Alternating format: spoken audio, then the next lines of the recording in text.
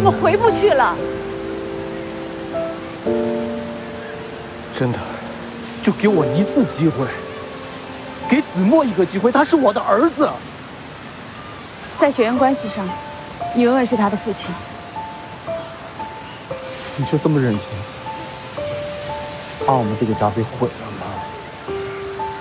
你抛下我们那一刻起，我们的家就毁了。毁了也没关系，我们可以重建，我们依然可以幸福的。如果你真的想给我们一个家，想再给我们一次机会，你去自首。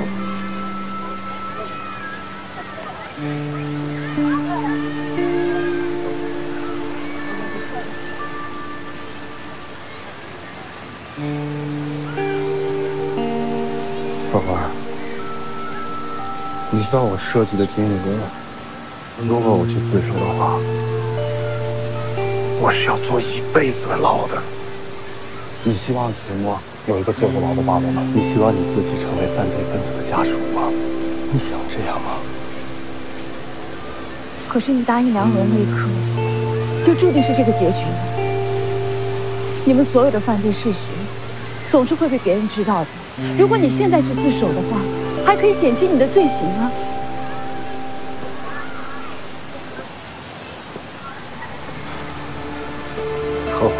我真的不知道为什么你一定要逼我走上这条路。现在很有钱了，我们可以带着子墨远走高飞，去国外过更好的生活，你明白吗？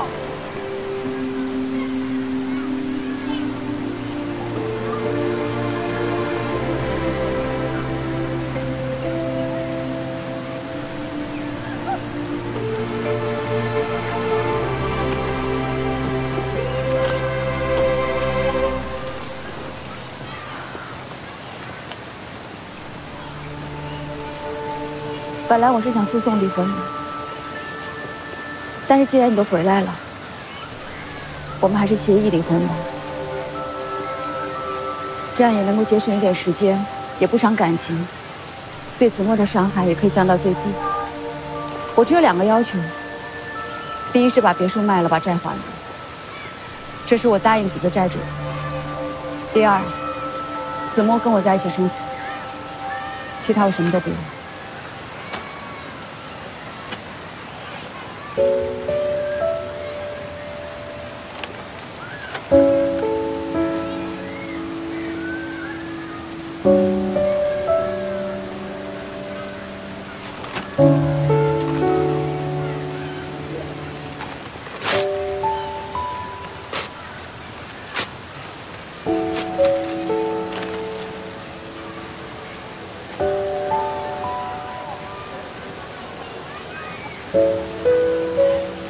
这婚我是离定了，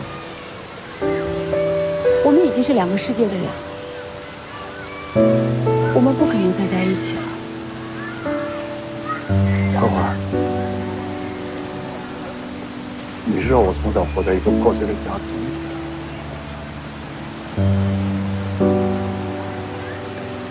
我求你了，不要逼我把自己的家庭破碎掉。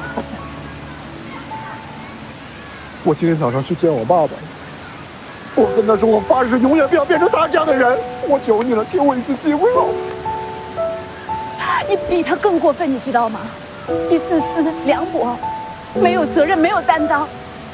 你以为你真的拿到那些钱，你就无所不能了吗？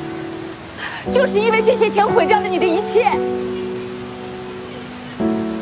你清醒一点吧。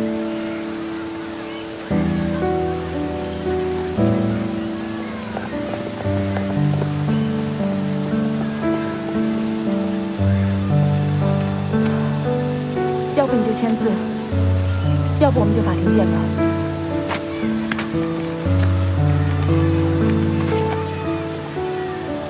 子墨来坐啊